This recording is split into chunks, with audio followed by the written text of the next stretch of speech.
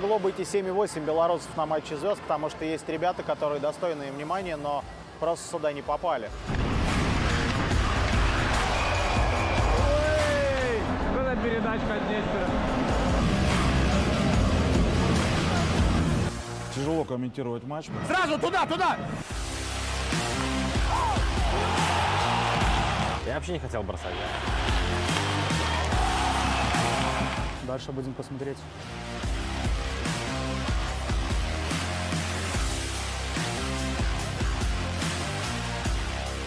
Когда выигрываешь, всегда приятно, и победа все-таки будет стоять на первом месте.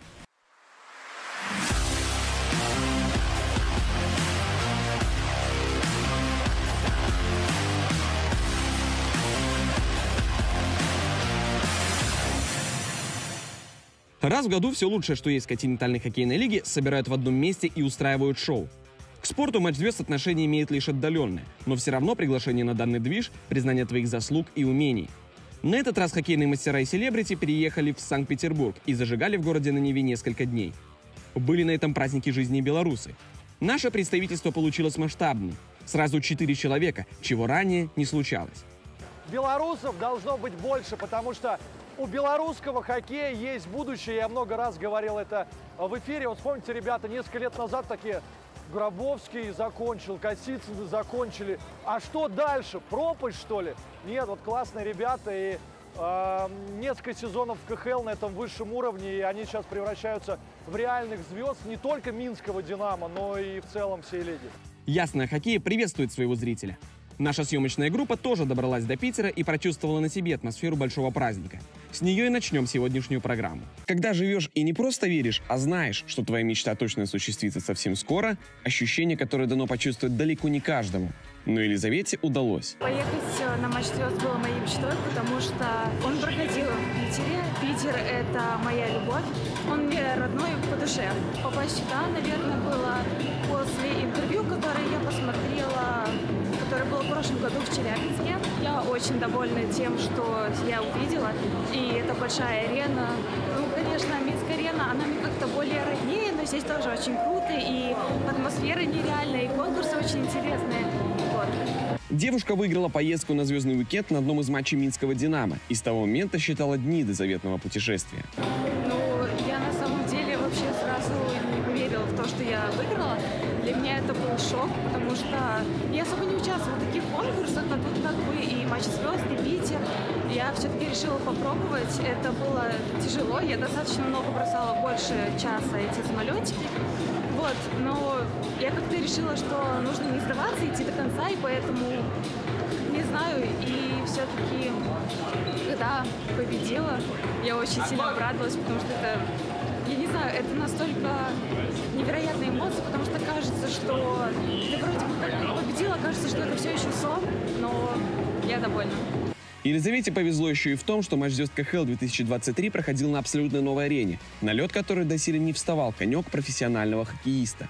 Ну, она просторная, здесь хорошие люди, они вежливые. А, ну, здесь, в принципе, очень классно, и атмосфера прям вообще завораживает. Строительство арены закончили аккурат перед стартом недели звезд хоккея. Она настолько новая, что в некоторых местах даже запах краски еще слышен. Конечно, понравилась огромная арена. Мне кажется, даже, даже не до конца видел э, последние места. То есть это довольно интересно, потому что реально огромная арена, как будто играем на какой-то футбольной арене, где залили каток. Интересный опыт, и я думаю, очень интересно будет играть потом в чемпионате. Полностью заполнить абсолютно новую арену, да еще и такую громадную, задача непростая. Однако организаторы сделали все, чтобы на трибунах не осталось свободных мест. Перед выходом игроков на лед на сцене выступали рэпер СТ и The Hatters.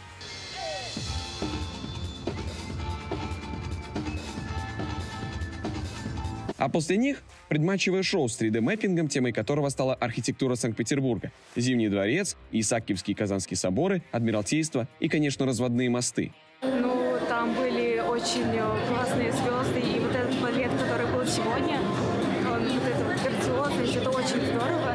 И артисты, которые выступали, некоторые из них я знаю, и ну, они очень классные, особенно группа Hatters.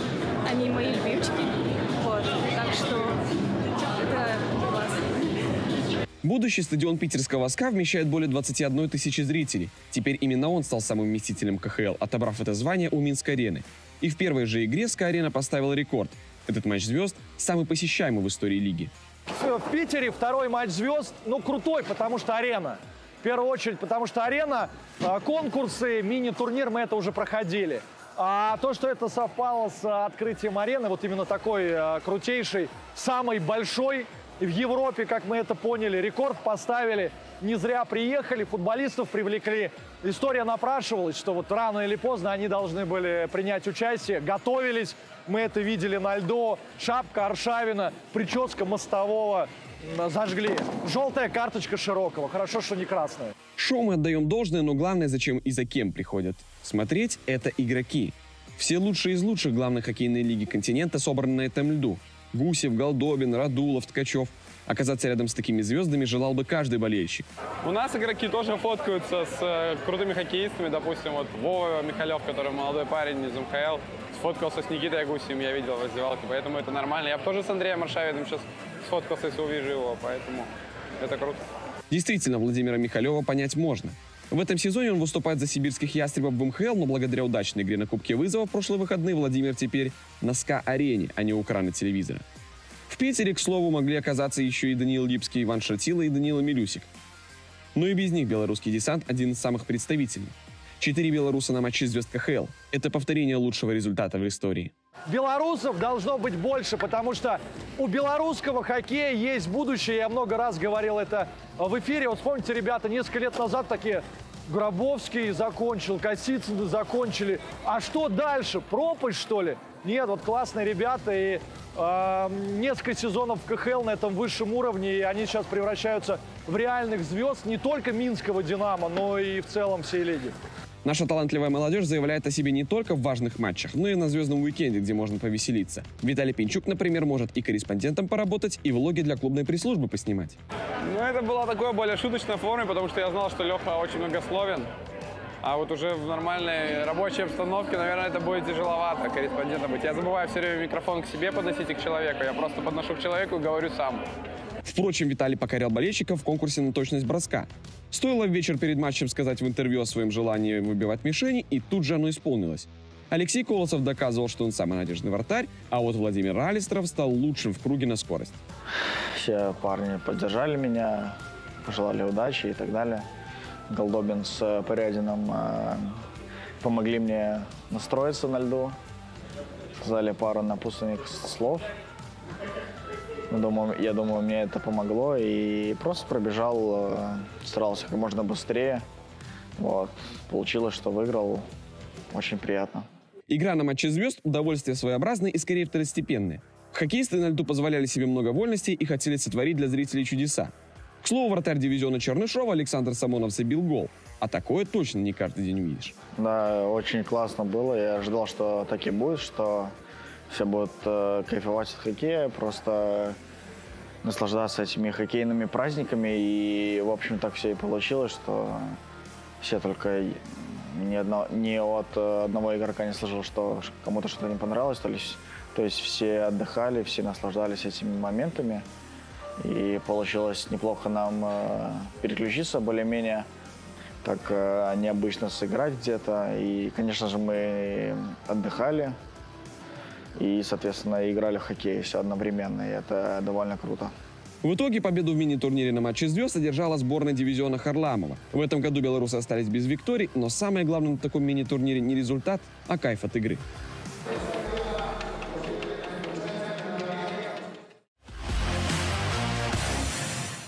Пинчук, Колосов, Алистров и Лисовец пакуют чемоданы и летят домой. Уже сегодня на Минской-арене стартовал кемп национальной сборной Беларуси. График у команды плотный. Несколько тренировок на своей территории и снова в аэропорт. В среду команда должна быть уже в Санкт-Петербурге, где примет участие в Кубке Первого канала, действующим победителем которого она является. Везет сборную на турнир некогда ее капитан, а ныне тренер Салавата Юлаева Константин Кольцов. Накануне сбора Константин Евгеньевич согласился ответить на наши вопросы.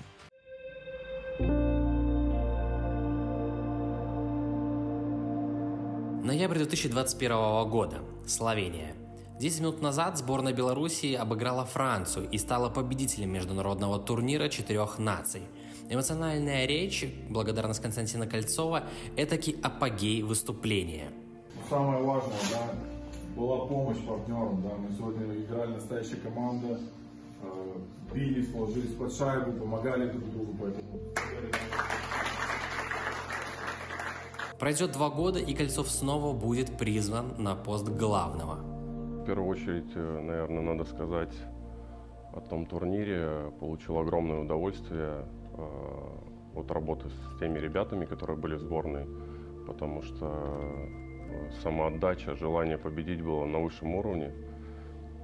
Вот. А для меня, в принципе, ну, конечно, это большая честь всегда, когда ты приезжаешь в сборную, неважно в каком качестве, то есть как игрок, как э, помощник тренера, тем более как главный тренер. Поэтому большая честь. Я не сказал бы, наверное, ответственность есть, но опять же будем стараться показывать хороший, красивый хоккей. Ну, это приятно в любом случае. В начале нулевых Кольцов играл в одном звене с Марио Лемье в Питтсбурге. Две Олимпиады, 10 чемпионатов мира. На льду он умел, если не все, то очень-очень многое. Кольцов игрок, а, самоотдача, трудолюбие. А Кольцов тренер? А, дисциплина, положительные эмоции, а, может быть получение удовольствия от игры хоккей. Команда должна получать удовольствие. Возможность снова поработать в сборной он воспринял с присущим энтузиазмом. Правда, несмотря на нагрузку в Салавате, Кольцов находил время и на подготовку сборной. Хотя, как признается сам Константин, работу существенно облегчили его ассистенты. Ну, здесь э, очень здорово э, помогли э, помощники мои. Вот. Естественно, не просто было, но опять же они, наверное, на 80% включились в работу сразу же. И, в принципе, довольно-таки просто с ними это было сделать. Отслеживать всех белорусов-кандидатов в сборную по ходу сезона возможности не было. Опять же, ввиду занятости в Уфе, говорит Константин. Статистику видишь, э, какие-то э, эпизоды с игровыми моментами, но в большей степени сконцентрирован на своей работе, на своем клубе. Поэтому очень редко получается. То есть, ну, видел какие-то игры, и э, ребят, кто играет там в КХЛ, э, немного игр видел Минского Динамо, опять же, не так сильно получается следить именно за нашими ребятами. Состав, который в прошлом году победил на Кубке Первого канала, многие называют в какой-то степени экспериментальным. До Москвы не доехали многие сильные исполнители. В Питере будет иначе. Да, в принципе, приехали все сильнейшие, кто мог, у кого нет травм. Конечно, хотелось бы видеть э, еще несколько ребят, но опять же, сезон тяжелый, у кого-то травмы, кому-то нужно подлечиться, просто отдохнуть, поэтому опять же, собрали все сильнейшие на сегодняшний момент. Ребята становятся лидерами э, в своих клубах, в КХЛ, и я думаю, что для них э, очень важно не останавливаться, прогрессировать. Поэтому это хорошо, что подрастает такая молодежь, и я думаю, что это не проблема. Э, будущее все равно за молодежью. Завершая общение, спрашиваем, каким результатом на турнире будете довольны? Какой хотели бы видеть игру нашей команды? Я думаю, что игра непростая будет против э, и Казахстана, и России, но опять же у нас, я верю в тех ребят, которых мы собрали, они могут э, обыграть любого соперника и показать хороший хоккей, поэтому ну, точно не будем мальчиками для битья. Мы должны очень здорово сыграть в атаке. Ну и опять же, все-таки, когда выигрываешь, всегда приятно. И победа все-таки будет стоять на первом месте. Брест в ноябре-декабре был одним из главных ньюсмейкеров экстралиги. Приход Пушкова, переезд из Жлобина Гавруса, победы над юностью, которые сменились двумя поражениями от Могилева. В общем, полный набор полярных эмоций. Впрочем, факт остается фактом. Зубры стали играть ярче, больше забрасывают и стараются играть в силовой хоккей. А стабильность в результатах – это наживное, тем более, когда имеешь неплохой ростер. На неделе в городе над Бугом гостил не чужой Пушкову Неман, и эту встречу мы не могли пропустить.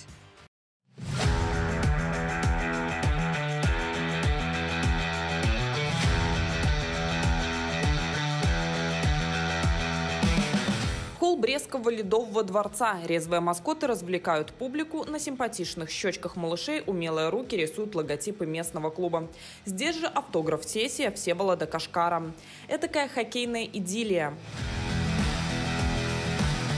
Команды появляются на льду. Наша камера следит за Сергеем Пушковым. Тренер в Брест перебрался в середине ноября.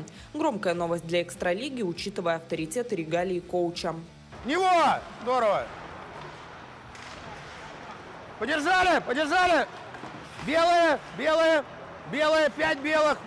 Кто есть белые, учитывая синюю форму клуба, известно только тренерскому штабу. Для рядового болельщика белые на льду – это игроки Немана. Для Гродно Пушков человек свой. Три чемпионства и два кубка Солея с клубом дорогого стоят. Принципиальный соперник? Спрашиваем Сергея Михайловича. Готовились к очередному сопернику, никакого специального не было такого настроя, что именно против Немана сегодня играем. Просто это очередной соперник на данный момент. Много успел ли изменить менее чем за месяц? Не думаю, говорит коуч. Игроки, впрочем, так не считают. У нас много поменялось, зона атаки поменялась, зона обороны поменялась. Мы как бы стараемся больше всего вперед играть. Он заставляет нигде не прокатываться, везде играть в силовую, активно. Мне, мне нравится, я как бы доволен. Выходи! Пять! Пять играем! Пять! Еще один не чужой для Гродно хоккеист перебрался в Брест за несколько дней до этого матча. Естественно, у Артура Гавруса времени обжиться было немного, но приняли хорошо. Много ребят я знаю, с кем-то играл, с кем-то пересекался на льду. Э, тренерский штаб, в принципе, я и знаю, и поэтому как бы сложности вообще не возникает в этом плане. После э, того, как я покинул Металлург, я взял небольшую паузу. Вот. Э, Потом мы созвонились с директором клуба. Ну, вот так вот возник вариант. К середине стартового периода команды обмениваются шайбами. У Бреста отличается Сергей Малявка, еще один любимец Гродно. Локтем в прыжке в лицо. Я не знаю, как вы точно, вдвоем точно, смотрите. Точно видели, да? Ну вот, сказали, вот смотрели. Некоторые решения арбитров у Пушкова вызывают вопросы. И на самом деле игроки не церемонятся друг с другом.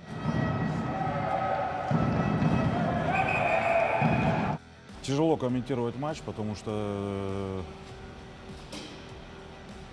есть моменты, которые нужно будет пересмотреть, чтобы принять правильное решение. В меньшинстве тяжело э, выиграть матч, хотя и большинства было предостаточно. Слабо сыграла бригада большинства. Ну, по меньшинству там меньше вопросов. В неравных составах команды сыграли 30 минут на двоих. До рекорда грубости далеко, но все равно на льду жарковато. Оно и неудивительно. Понимали, что пора уже прерывать эту серию, которая у нас получилась из четырех проигрышей.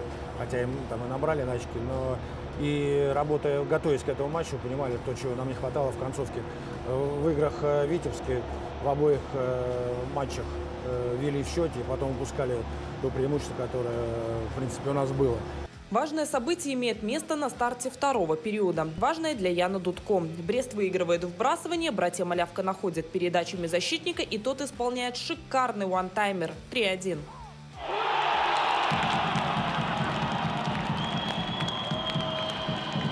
Я вообще не хотел бросать, я хотел э, уходить дальше вглубь, но ну, бросил, забил я стараюсь не обращать на это внимания и уже дальше работать. Это и схема э, Сергея Михайловича.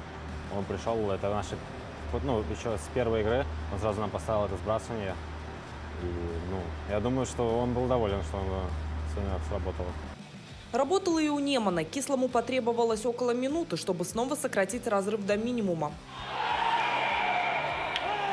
Сергей Пушков после игры скажет, нам не хватает. Ну, наверное, стабильности стабильности не хватает, э, поэтому идут э, победы, чередуются с поражением, и к этому нужно прийти более стабильно, более надежно играть в моментах, когда команда выигрывает. Вот стабильности не хватает. Мне понравилось, что ребята стали с первой тренировки э, слушать то, что от них начал требовать новый тренер. Вот. Но это не всегда очень быстро идет, потому что появляется много новой информации, которую нужно переварить, и на это требуется время. И требуется время донести. Неизвестно, доносил ли перед третьим периодом Пушков команде, что нужно играть осторожнее, но получилось именно так. Случилось это после четвертой заброшенной шайбы. Качан сделал счет 4-2, реализовав двойное большинство. Все, на что хватило Немана, так это отыграть одну шайбу, хотя могли и сравнивать. Я считаю, что команды мы сыграли сегодня здорово. Все-таки играли против э, вице-чемпионов. Хорошая команда, организованная. Но мы здорово проделали работу. Да, где-то в третьем периоде немножко прижались к воротам, но выстояли и добыли важные два очка. После матча Сергей Пушков и Евгений Летов, уходя в подтрибунку, что-то обсуждают друг с другом. Завидев объективы камер, понижают децибелы и прячут эмоции. 4-3. Очередная победа Пушкова над топовой командой Экстралиги. Ранее были две виктории над юностью. Неужели замахнуться на топ-6? Да сто процентов есть шанс. Мы должны это делать скорее. Что у нас состав, как бы, к нам приезжают люди с именем, ну реально. Как бы, и Гаврус сейчас приехал, Паша Разводовский тоже, ну это мастер. Реально, то есть мы должны, мы обязаны, я бы сказал, даже. Так э, далеко забегать, я думаю, не стоит. Э, Все-таки чемпионат стал еще ровнее, чем был. Каждый может обыграть каждого. Как вы говорите, две игры у юности на выезде выиграли, а потом Могилеву проиграли дома. Вот, поэтому я думаю, что мы должны просто быть готовы к каждой игре и каждую игру настраиваться на победу и от игры к игре идти. А дальше будем посмотреть. В субботу Брест разжился очками снова. Правда, на этот раз ограничился лишь одним баллом, уступив Неману в серию буллитов. Химик обменялся победами с Гомелем, аналогичная ситуация наблюдалась во встречах юности и Металлурга. Полная картина игровой недели на вашем экране.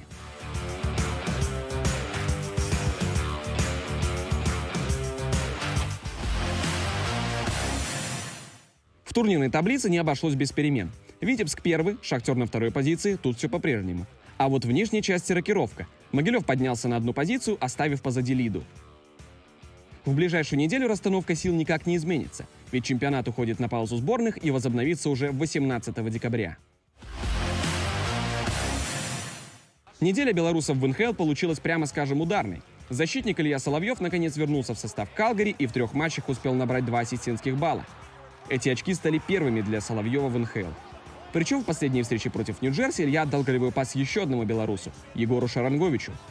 Такой эффективности белорусов на площадке в НХЛ не случалось 11 лет, 8 месяцев и 29 дней. В последний раз белорус забрасывал с передачи белоруса 11 марта 2012 -го.